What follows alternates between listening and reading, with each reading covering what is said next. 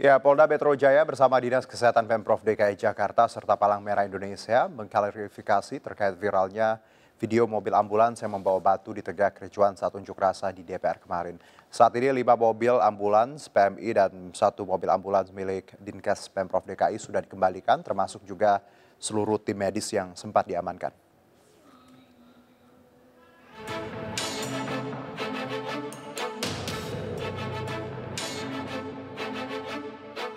Kabit Humas Polda Metro Jaya, Kombes Pol Argo Yuwono mengklarifikasi polemik viralnya mobil ambulans PMI dan Pemprov DKI yang diamankan dalam aksi unjuk rasa.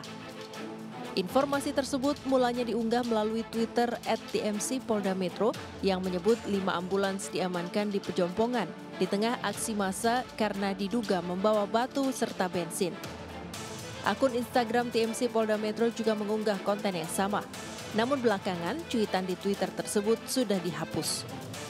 Saat kejadian, anggota BRIMOB yang tengah bertugas menghalau masa pelajar dilempari batu serta benda lainnya. Aparat kemudian melakukan pengejaran terhadap para perusuh yang mencari perlindungan dengan masuk ke dalam mobil ambulans.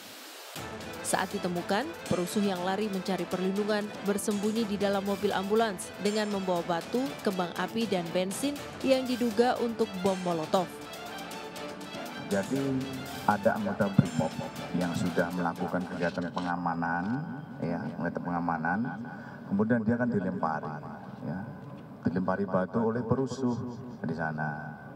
Dan kemudian perusuh itu pun, ya, perusuh itu pun membawa uh, ini alat-alat ini yang ada batu dan ada batu ini ya, batu ini dia dia itu mencari perlindungan ya dengan masuk ke mobil PMI jadi apa namanya anggapan daripada anggota di Brimob di sana adalah uh, diduga dia beranggapan bahwa mobil itu juga yang digunakan untuk oleh oleh perusuh. Tadi bukan ya. Jadi clear ya, jadi tidak ada permasalahan apa-apa. Uh, kami di sini dalam rangka saling berkomunikasi, berkoordinasi untuk uh, memohon pemulangan tim medis kita yang kemarin telah dimintain keterangan oleh pihak Polda Metro Jaya. Kami minta ada rehabilitasi nama baik institusi Pemprov DKI Jakarta termasuk jajaran Dinas Kesehatan DKI Jakarta.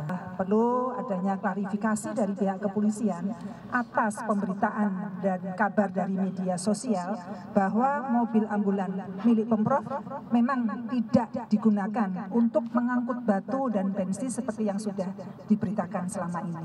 Itu ada lima buah. Terus kita punya motor palang merah dengan lambang palang merah itu ada tiga yang kita kerahkan. Terus krunya semuanya ada 31 orang.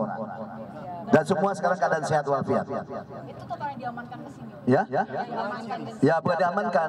Diamankan dari persoalan yang tidak dihendaki. Ya, dibawa ke sini. Kira-kira begitu. Ya, Pak Lima mobil ambulans milik Palang Merah Indonesia dan satu mobil ambulans dari Dinas Kesehatan Pemerintah Provinsi DKI pun dikembalikan. Seluruh tim medis yang sempat diamankan untuk dimintai keterangan juga kini sudah diperbolehkan pulang. Dari Jakarta, Luis Ayu, Yulia Lorena, dan Hilman Ayus melaporkan.